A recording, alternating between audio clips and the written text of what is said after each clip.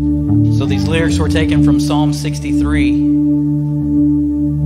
And throughout them, it, it doesn't say one time that you need to take up arms and defend yourself.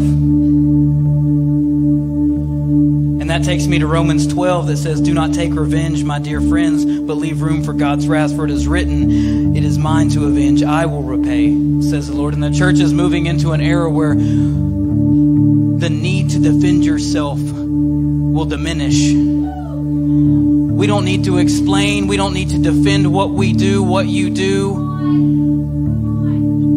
We don't need to feather anybody into our congregation.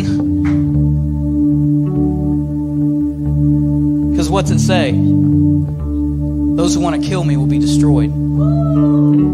They'll go down into the depths of the earth.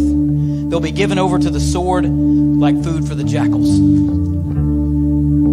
It doesn't say, Nathan, you need to get on Facebook and make a post explaining why you felt that way, why you did that thing. Romans 12 says, Do not take revenge, I will repay. So I just release you right now in the name of Jesus for the need that you feel to defend yourself. Let them walk, let them talk. Do what God said do.